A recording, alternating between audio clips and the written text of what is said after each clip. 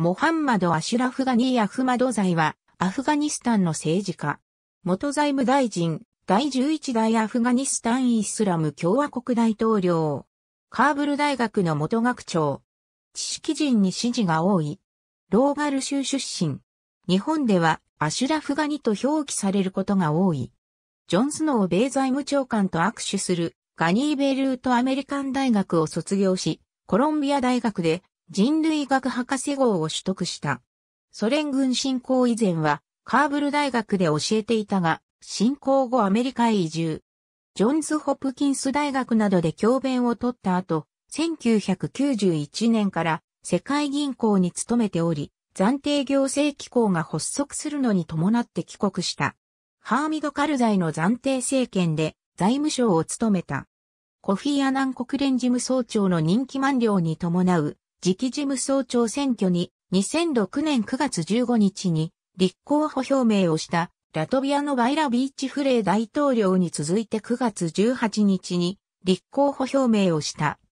その後、韓国の反気分外交通省省なども含め、立候補者は7人となり、最終的には反気分が次期国連事務総長に選ばれた。2009年のアフガニスタン大統領選挙に出馬したが4位だった。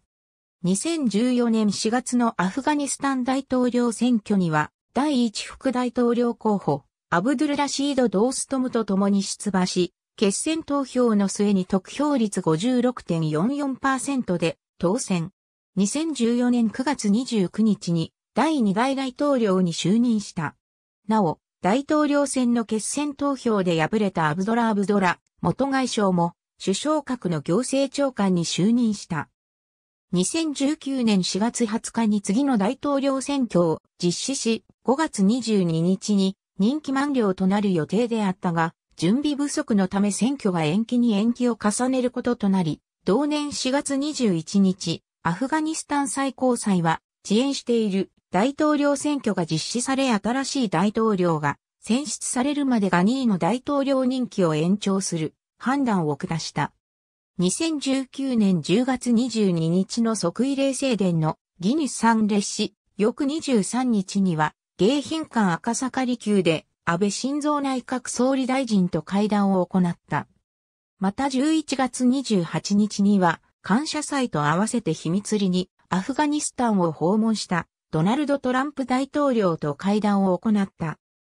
2019年9月28日に執行された大統領選挙は2020年2月18日に選挙管理委員会が結果を確定させ、得票率50.64%のガニーの再選が決定したが、対抗馬のアブドラ・アブドラは選挙結果を認めず、同年3月9日にガニーが2期目の就任宣誓を行った数分後に、アブドラも独自に大統領就任宣誓を行うなど、2期目は波乱のスタートとなった。5月17日にアブドラと新政権樹立で合意し、権限を両者で分け合うこととしたほか、ターリバーンとの和平交渉は新設される国家和解高等評議会の議長に就任するアブドラに委ねることとなった。アメリカ合衆国が2021年8月末までのアフガニスタンからの撤退を進める中、ターリバーンの攻勢は止まらず、主要都市は次々に制圧され2021年8月中旬には首都カーブルに迫った。ターリバーンがガニーに対し大統領辞任を要求したほか、アメリカのアントニー・ブリンケン国務長官も停戦とターリバーンを含んだ暫定政権樹立のためガニーに大統領辞任を要求したと一部で報じられたが、大統領府はこれを否定し、交戦の姿勢を示した。しかし8月15日にターリバーンはアフガニスタン全土を支配下に置いたと宣言し、政権側もアブドゥル・サタール・ミルザクワル内務省代行が平和裏に権力の移行を進めると表明。同日15日のロイター通信の報道によると、ガニーはすでにカーブルを離れ国外に脱出したことを内務省高官が発表し、後にアブドラ国家和解高等評議会議長もこれを確認。ガニー政権は事実上崩壊した。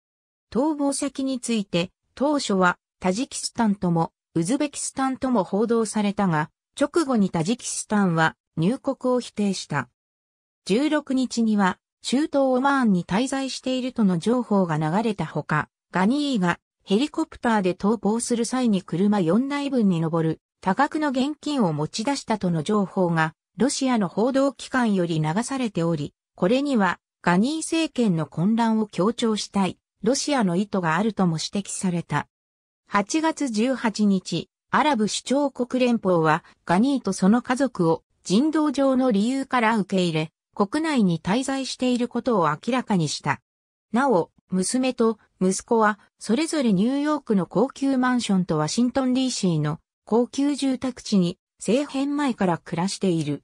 8月18日には Facebook に動画を投稿。アフガニスタンを脱出せざるを得なかった状況を釈明し、帰国に向けて活動を行う意思表示を行った。多額の現金持ち出しについては否定した。ありがとうございます。